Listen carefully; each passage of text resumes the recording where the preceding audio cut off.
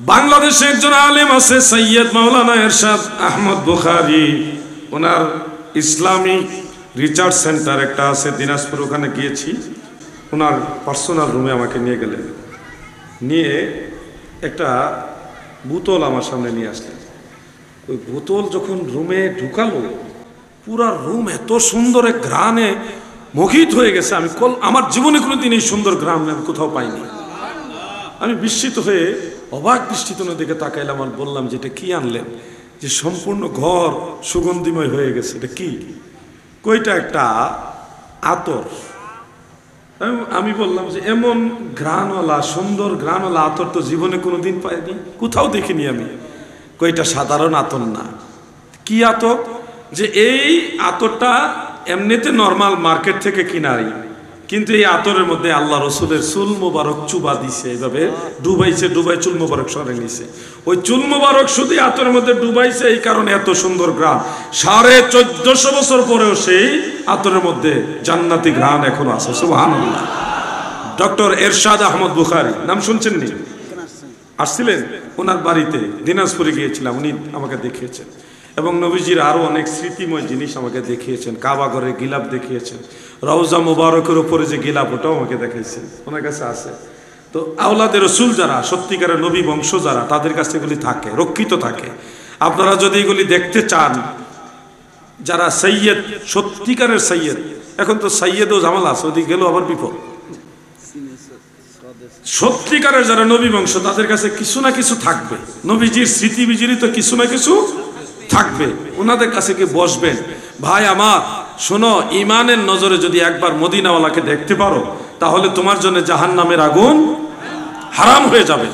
আমরা মদিনাওয়ালাকে সরাসরি ফিজিক্যালি দেখতে পারিনি, কিন্তু নবীজির ব্যবহৃত যে জিনিসগুলো, এগুলো যদি একটা দেখতে পারি, তাহলে মনের একটা তৃপ্তি অন্ততপক্ষে মিটবে। কি বলেন আপনারা? নবী দেখার ইচ্ছা নাই আপনাদের? সবাই বলেন, আছে? আল্লাহর হাবিব, আমার দয়াল নবী। রাহমাতুল্লিল আলামিনকে এই কর্ণফুলি থেকেও কেউ যদি তালাশ করে, আমার বিশ্বাস দয়াল নবীজি তার ঘরে এসেও দেখা দিবে।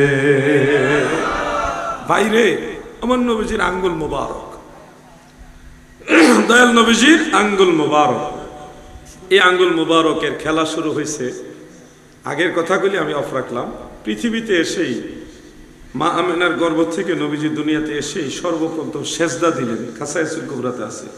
সেজদা থেকে উঠেই রাফা আর আসাহু মিনাল আর্দে, জমিন থেকে মাথা উঠিয়ে ছোট্ট ছোট্ট আঙ্গুল মোবারক। নবীজি তখন শিশু, ছোট ছোট আঙ্গুল মোবারক, এর মধ্যে শাহাদাত আঙ্গুল মোবারক। আসমানের দিকে এইভাবে তুলে, এইভাবে পড়তেছে লিসানুল ফাসিহ। বিশুদ্ধ ভাষায় নবীজি বলতেছেন আশহাদু আল্লাহ ইলাহা ইল্লাল্লাহু ওয়াহদাহু লা শারীকা লা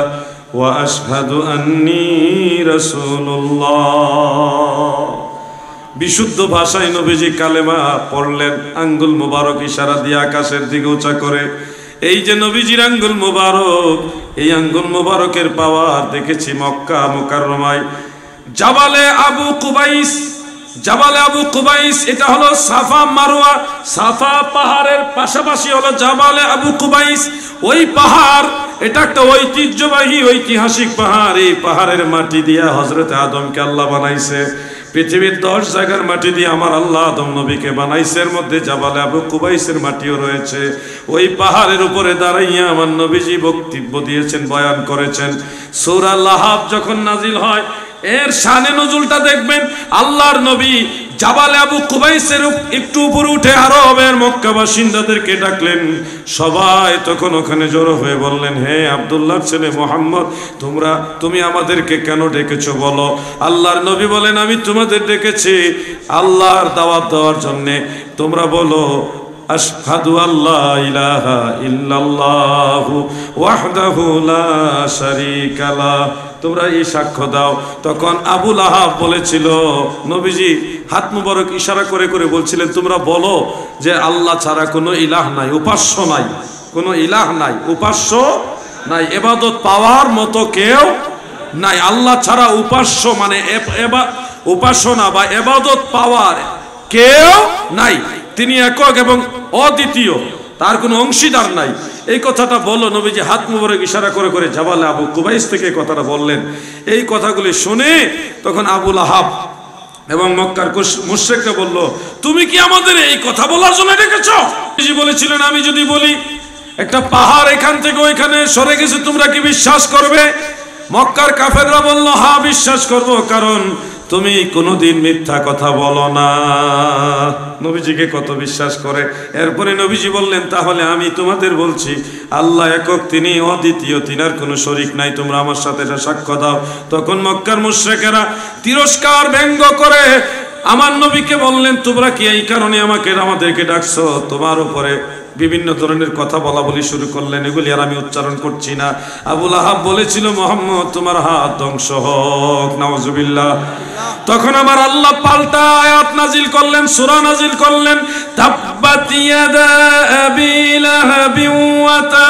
আছে না নাই ভাই?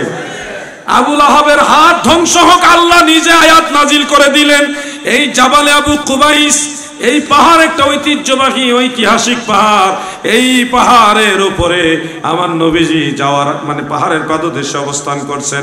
আবু জাহাল, সে এসে বলতেছে, হে মুহাম্মদ সাল্লাল্লাহু আলাইহি ওয়াসাল্লাম, তুমি যে বলো আল্লাহ একক, এটার প্রমাণ কি? এটার নিদর্শন কি? কি প্রমাণ চাও?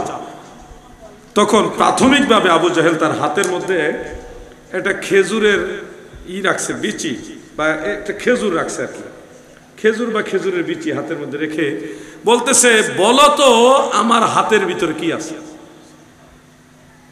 আল্লাহ রসুল মুসকি মুসকি হাসের বলে, আবু জাহাল, আমি বলব তোমার হাতে কি আছে, নাকি তোমার হাতে যা আছে সে বলে দিবে আমি আল্লাহ রসুল? আবু জাহালকে ওইটা হলে তো আরও ভালো হয়। কারণ খেজুরের বেশি কথা বলবে, এটা তো অসম্ভব। তুমি হয়তো অনুমান করে একটা বলে দিতেও পারো, তার ধারণা এরকম। অনুমান করে তো বলেও দিতে পারো যে এটা অমুক জিনিস আমার হাতে মিলে যেতে পারে, কিন্তু খেজুরের বেশি তো কথা বলবে না।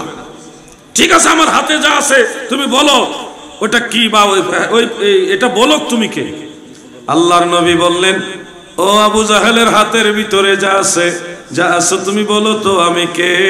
আবু জাহালের হাতের ভিতর থেকে আওয়াজ আসলো আশহাদু আল্লাহ ইলাহা ইল্লাল্লাহু ওয়াহদাহু লা শারীকা লাহ ওয়া আশহাদু আন্না মুহাম্মাদান আবদুহু ওয়া রাসূলুহু। আবু জাহেলের হাতের ভিতর থেকে খেজুরের বেশি কালিমায় শাহাদত পড়ে। এই দেখে আবু জাহেলকে আমার হাতের মধ্যে জাদু ধরছে, জাদু জাদু। এই সেহের আমার হাতের মধ্যে ঢুকে গেছে, জাদু। বলে খেজুরের বেশি ফালাই দিচ্ছে হ্যাঁ বলে জাদু ধরছে, বলে তার হাতে। নাওজুবিল্লাহ বলে। কে মোহাম্মদ, তুমি কীরকম জাদুকর হইছো যে আমার হাতের ভিতরে জাদু হয়ে গেছে? আল্লাহ রসুল বলে, হে আবু জাহাল, আমি জাদুকর নই, আমি জাদুকর নই, আমি যা দেখিয়েছি, আপনি যা চেয়েছেন, তাই তো হয়েছে। সে আপনার হাতের ভিতরে খেজুরি বেশি বলল, আমি তো তাকে স্পর্শও করিনি, কোনো কিছু পাঠও করিনি, ফু দেইনি তো কিছুই কোনো আপনার খাতের ভিতর থেকে সে বলল, এরপর আপনি কেন এটাকে জাদু বলছেন? আবু জাহাল তখন বলল, ঠিক আছে, তুমি আমাকে আসমানের চন্দ্রটা দুই টুকরা করে দেখাও। তখন আল্লাহর নবী জাবালে আবু কুবাইস ওই পাহাড়ের মধ্যে উঠলেন। দয়াল নবীজি, ওই পাহাড় হাজি সাহেব আসেননি এখানে কেউ? হাজি সাহেব? মক্কা শরীফ গেছেন কেউ? আসেনি? একজন। দুইজন মাশাল্লাহ আমার দাদু ভাই অত্যন্ত মহব্বতের মানুষ। দুইজন আর কেউ নাই? মক্কা শরীফ গেছেন? ওই একজন আছেন, তিনজন। ওই যে একজন আছেন আচ্ছা ওই যে আছে মাসাল্লাহ মক্কা শরীফ গেছে, অনেকে আছে। আপনারা তো জামাল আবু কুবাই চিনছেন নাকি? চিনছেন নি এই যে এই পারে হলো সাফা পাহাড়, আর ওই পারে হলো মারুয়া পাহাড়। সাফা মারুয়া দৌড়াদৌড়ি তো করছেন নাকি? হজের অংশ, উমরার অংশ তো এটা। সাফা মারুয়া দৌড়াদৌড়ি করা, সাতবার আসা যাওয়া করা। তো যেখান থেকে দৌড় শুরু করতে হয়, সাফা, এটাকে বলা হয় সাফা মার পাহাড়। ইন্না সাফা ওয়াল মারুয়াতা এই দুইটা পাহাড়ের নামও কিন্তু করা শুরু আসমিন শাহিরিল্লাহ তো এই যে সাফা পাহাড়ের সাথেই, এই সাফা পাহাড়টা যেই পাশে, এর পাশেই একটা পাহাড় আছে। এই পাহাড়টার মধ্যে এখন ওই সৌদির বাদশাহ বিল্ডিং বানাইছে।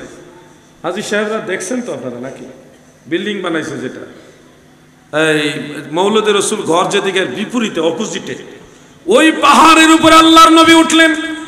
ওঠার পরে নবীজির আঙ্গুল মুবারক, নবীজির আঙ্গুল মুবারকের মোজেজা বলতেছিলাম এই জন্য এতগুলি কথা বলতেছি। আমার দয়াল নবীজি, আল্লাহর হাবিব আকাশের চাঁদের দিকে এইভাবে ইশারা করে বললেন, তুমি দ্বিখণ্ডিত হয়ে যাও, সাথে সাথে আকাশের চন্দ্র দুই টুকরা হয়ে গেছে। সোনানু আবি দাউদের মধ্যে এই হাদিস কেনা বিশুদ্ধ সনদ উল্লেখ রয়েছে? এছাড়া বহু কিতাবে হাদিস রয়েছে। আকাশের চন্দ্র যখন দুই টুকরা হয়ে গেল, আমার নবীর আঙ্গুল মোবারকের ইশারায় চন্দ্র টুকরা হয়ে গেছে। আবু জাহেল কয়, মোহাম্মদ, তুমি কত বড় জাদুঘর। আমার হাতের ভিতরে শুধু জাদু না, তোমার জাদু আসমানের চাঁদের ভিতরে ঢুকছে। নাউজুবিল্লাহ যারা বেঈমান, তারা কখনো বিশ্বাস করে না। আল বেদায়া মধ্যে উল্লেখ নবীজির আঙ্গুল মুবারকের পাওয়ার আঙ্গুল সম্পর্কে। নবীজি ঘটনাক্রমে একদিন আসরের নামাজ আদায় করেছেন, অন্যান্য সাহাবার আদায় করেছেন। কোন এক কারণবশত শেরে খোদা হজরত আলী রাদি আল্লাহ আসরের নামাজ পড়তে পারেননি। আল্লাহ রসুল বললেন, আলী, তুমি বসো, তোমার মধ্যে আমি বিশ্রাম নিব। সে রেখোদা মাওলা আলী বসলেন। আলী রাতি আল্লাহ উরুতে নবীজি মাথা মোবারক রেখে একটু বিশ্রাম নিলেন। নবীর কথা মানা ফরজ। নবীর মাথা, কথা মানা কি? ইয়া আইয়ুহাল্লাযীনা আমানু আতিউল্লাহ আতিউর রাসূল। আল্লাহর আনুগত্য করা ফরজ, নবীর আনুগত্য করাও ফরজ। নবীজি বলছে, আলী, তুমি বসো, নবীর আদেশ, নামাজ পড়ো, আমার আল্লাহর আদেশ আল্লাহর আদেশ মানা ফরজ, নবীর আদেশ মানা ফরজ। এদিকে সূর্য ডুবু ডুবু অবস্থা শেরে খোদা, আলী, তিনি টেনশনে পড়ে গেলেন, আমি কি এখন নবীজিকে ডাক দিব কিনা? নবীজি তো ডাকতে বলে নাই। নবীজি বলছে বর্ষ নবীর আদেশ মানতে হবে, ফরজ। ওইদিকে সূর্য ডুবে যায়। সূর্য ডুবে গেলে আসরের নামাজ কাজা হয়ে যাবে। ওইদিকে আল্লাহর হুকুম বাতিল হয়ে যাবে। আমি কোন ফরজ বাদ দিব আর কোন ফরজ মানব? টেনশন করতে করতে এক পর্যায়ে সূর্য ডুবে গেল। নবীজির ঘুম মুবারক ভেঙে গেল। মনে রাখবেন, নবীজের নবী যারা, আমাদের দয়াল নবী নবীদের ঘুম এটা আমরা ঘুমাইলে অজু ভাঙ্গে, কিন্তু নবীদের ঘুমে অজু ভাঙ্গে না। আমরা স্বপ্নে দেখি সত্য হতে পারে, মিথ্যাও হতে পারে। আমাদের স্বপ্ন সত্য হতে পারে, মিথ্যাও হতে পারে। কিন্তু নবীদের স্বপ্ন হলো ওহি। নবীদের স্বপ্ন কি? ওহি মানে এটা আল্লাহ তালা বলছে কথা। ওনাদের স্বপ্নের রাজ্য শয়তান বিচরণ করতে পারে না। কি মহান ব্যক্তিত্ব ওনারা। মহান আল্লাহ তালা কি দয়া। আল্লাহর হাবিব ঘুম থেকে উঠে দেখে আলী চেহারা মুবারক মলিন করে বসে আছে আলী। তুমি কান্দ কেন? মাওলা আলী বলে, ইয়া রাসূল আল্লাহ নবী গো। সূর্য ডুবে গেছে, নামাজ আদায় করতে পারিনি এই জন্যে কান্দি। আমার নবীজি বলে, আলী, তোমার কি নামাজ পড়তে মনে চাচ্ছে? নিশ্চয়ই, ইয়া রাসূল আল্লাহ দয়াল নবী, আঙ্গুল মুবারক দ্বারা পশ্চিম আকাশে ওই যে ডুবন্ত সূর্যর দিকে নবীজি আঙ্গুল মুবারক ইশারা করে সূর্যকে ডাক দিয়ে বললেন, তুমি উঠো। বলার সাথে সাথে ডুবন্ত সূর্য আসরের নামাজের ওয়াক্তের সময় যেইখানে সূর্য থাকে, ওইখানে রিপিট উদয় হয়েছে। চট্টগ্রামের আলামিন বারিয়া দরবারের একজন শায়ের ওনার জবান একটা গজল শুনেছি, আমি পুরোটা পারি না। খুব ভালো লেগেছে আমার কাছে। তিনি বলতেন এইভাবে, নবীর আঙ্গুলের ইশারা।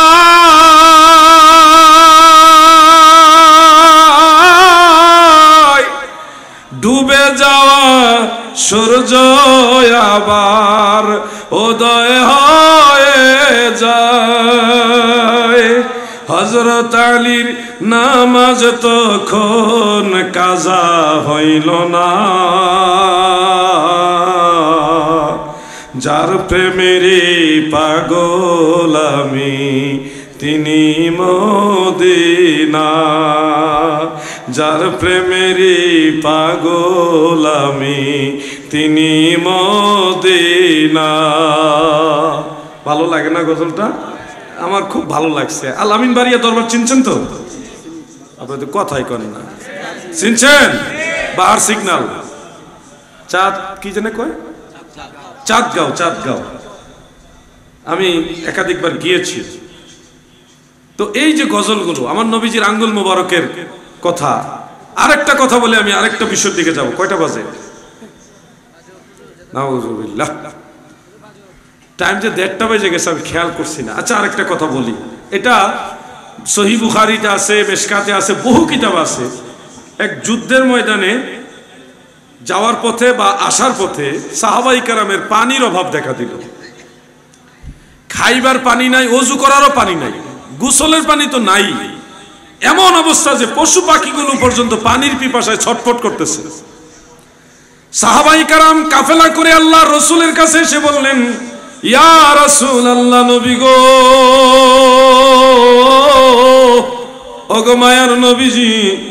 খাইবার পানি নাই, পান করার পানি নাই, অজু করার পানি নাই, গোসলের পানিও নাই। আমাদের ওট ঘোড়াগুলো পানির পিপাসায় ছটফট করতেছে আর রাসূল আল্লাহ কি করব? আমার নবীজি বললেন, আমার তাবুর ভিতরে সামান্য এক ঘটি বা এক মশক পানি আছে, এটা নিয়ে আসো।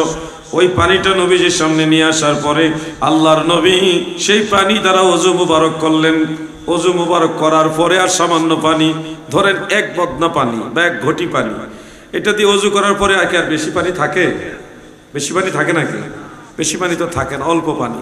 নবী করিম সাল্লাহ আলি সাল্লাম সেই ঘটি মুবারক বা বদনা মুবারকটা অজু করার পরেই এভাবে ধরে, নবীজির আঙ্গুল মুবারক, সেই বদনা মুবারক বা মশকের বরাবর এভাবে ধরলেন। ওল্লাহি হাদিসের মধ্যে উল্লেখ, নবীজির আঙ্গুল মুবারকের সামনে দিয়ে জান্নাতি পানির নহর জারি হয়ে গেছে।